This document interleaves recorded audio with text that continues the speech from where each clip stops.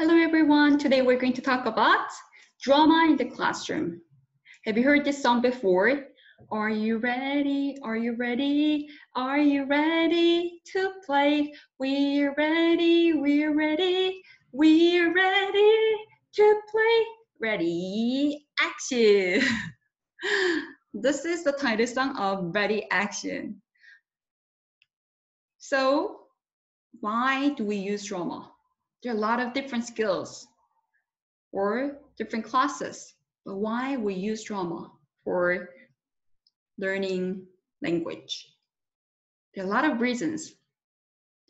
First, drama brings real life situations, right? Like uh, somebody making friends or somebody taking their food to grandmother and somebody's running away from something.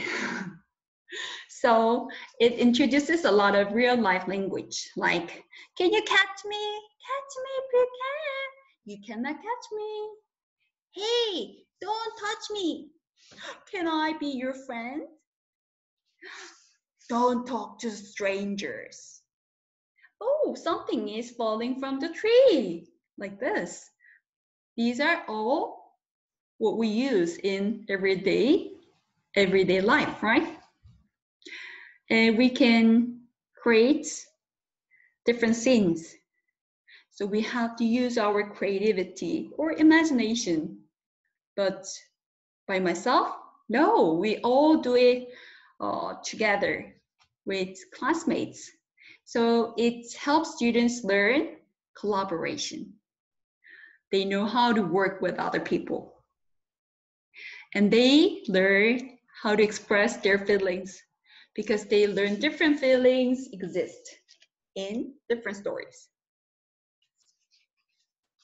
At the end of the class, they're going to memorize all the lines or at least their own lines. So they build up their confidence because they can say at least some lines in front of other people. And it's really, really fun. Students love to study with this drama, but actually they don't think it's study. They think it's a playtime. Sarah Phillips, who's the, uh, she's the author of Drama with Children. She said dramatizing means the children become actively involved in a text. So they don't just learn, they involve, they're involved in the text. Ready Action has two different types of stories. So first one is classic. Classic has starter, four books, and level one, four books, level two, four books, level three, Okay, classic is a little bit easier because these are all the stories that you might know or your students might know. So uh, when you choose books, parody is a little bit difficult. Classic is easier than the parody version. Okay, you know the turtle, the rabbit and the turtle here. Oh, Jack and the beanstalk the ugly duckling. So these are all the classic stories.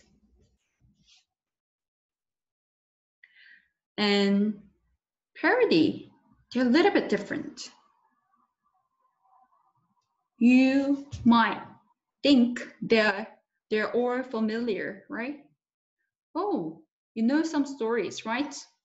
That's right. But it's different at some part or at the end.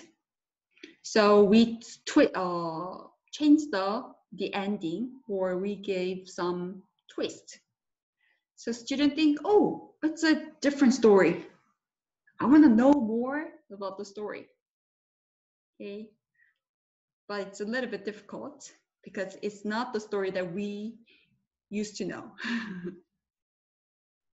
so when you plan your class, you can plan uh, for like A classes or over than that.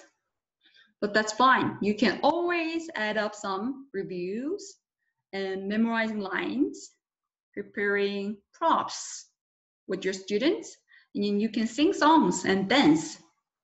Also blocking, where how they move, where to move, things like that. And then you need a lot of rehearsals. Then you need performance day too. So this is the syllabus. Mm -hmm. Lesson one, you're going to introduce the book. You're going to talk about the book cover and the characters. Two to seven or two to eight, you're going to do the daily lessons like storytelling, picture walk, drama activities, sing and dance, reading, practice. A lot of reading practice. That's, that's really important. And workbook. And when these are all done, you're going to go to Reader's Theater. Reader's Theater means it's kind of reading and performing at the same time. Students, students perform, but they have the script on their hand. but they have to act.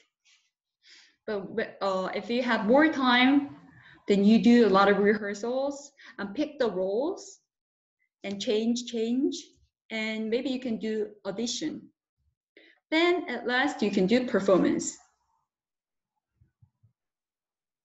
Okay, so what should we do in the beginning of each lesson? Every lesson you have to do this. This is really, really important. That's warm up. Why is it important? Think about your students. They have they don't have much experience in drama. So they might be afraid. Oh, what if my teacher pointed at me and I have to sing in front of other people? Oh, I'm scared too. so we have to break all these, you know, scary, you know, things in our mind. So that's why we do a lot of warm-up activities to make students feel safe and relaxed in our class. And it also helps students raise their energy level. Sometimes students feel like, oh, teacher, I don't have any energy. I don't want to play. But after uh, doing these warm-ups, then they can, you know, do a lot of activities. But they're mostly non-verbal because it it gives non-threatening environment for young learners. Basically, they cannot speak well. So don't do verbal activities. Okay? It's kind of pressure for them. So you can do a lot of like activities like seven count shake, mirror mime, tongue twisters, jump in, jump out, walk and stop, zip, zip, zip, catch my name, group name, exaggeration circle. Okay, I cannot explain everything today, but I will show some pictures. This is mirror activity. Okay, uh, I want to show some uh, class, I mean PowerPoint. So you can just follow the PowerPoint to do your class. Let me show. This is the ugly duckling.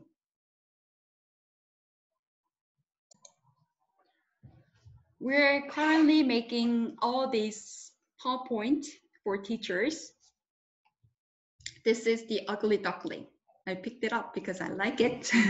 I like the story. This is lesson one. So lesson one, you always sing the song, the title song, you know, the song that I sang. Are you ready? Are you ready? With your students. And then you say three tools of acting, which means body, voice, and imagination. These are the three things that students must bring with them when they come to your classroom. Also, this is seven count shake. So I wrote down all, you know, uh, how to do it here. So you can just follow it, like count one, two, seven, and shake the body parts, like one, two, three, four, five, six, seven, one, two, three, four, five, six, seven, and then left leg and right leg. You count one to six, one to five, one to four, one to three, one to two, and then one. You just need to follow the procedure. Then that's the warm up. And this is like wake up, walk and stop, clap and jump. You just say that and students just listen and follow. And you pass the sound. So please read the procedure, then you can do it with your students. Okay, then you're going to explain a little bit about story elements. Story has blah, blah, blah, characters, settings, and plots. And you explain what characters, what settings are, okay? And you give some quizzes.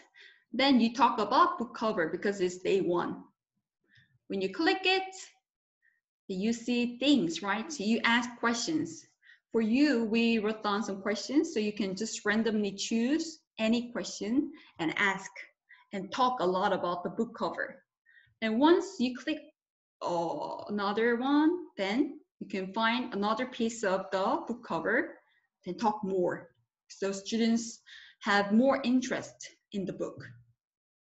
Then you jump into the story, you ask title. Maybe some students know Ugly Duckling, right? But some might not know. Talk, talk. And then we have sound effects. These, these are the thing that we provide in our CD. So you just play the sound. Play the sound. And then talk about the sound with your students. Okay, like this with their body part expressed with their body. And maybe they can write some words like wind or they can draw wind or you can show some pictures like this and match. Okay? I like that part. And introduce characters because it's the first class. They don't know who are in this story. Okay like this Okay. And you talk about the characters again because it's it's important to memorize. Because when they're reading the story, they they know the characters. They should know the characters to understand the story better. And then they can do a little bit of game, who's missing, and then they close their eyes and find the characters like this. Okay. And then you can do the workbook at the end of the class. There are a lot of things, right? Okay, like this. then when you finish all, then your lesson is finished. We have eight different lessons. So you can just follow them. Nothing difficult. All the warm-ups are in the story, in the PPT file. And these are extra activities that you can do with your students. Okay, I usually do puppet theater with my students, like this. Black paper, white paper, and move, move. And you tell the story with the students. Or you can use the, you know, finger puppets or chapstick puppets, paper pop, paper cup puppets. Or reader's theater, this is what I really like because you don't need to prepare any props or memorization. Read it please later. and you can make some props with your students. For starter level, you can find any kind of crafts in the PowerPoint in a file. We put at least one craft. And you can do picture storytelling you give post-its to your students and they draw like beginning, middle, end, or the the most impress impressive uh, scene or important scene or the scene that they really liked, like this. This is a story map. You can do it with your students. I did it. And drama board, in stage performance. I always record my students doing drama like this. And we made story map. And this is Ready Action Award. You can make it with paper cups. And this, these are uh, uh, frequently asked questions. Not enough roles, you can double cast. And one student, too many lines, double casting. And students, oh, blah, blah, blah, please read it. okay, so you can find online resources uh, on our languageworldbooks.com. And we have a lot of resources here. Okay, thank you.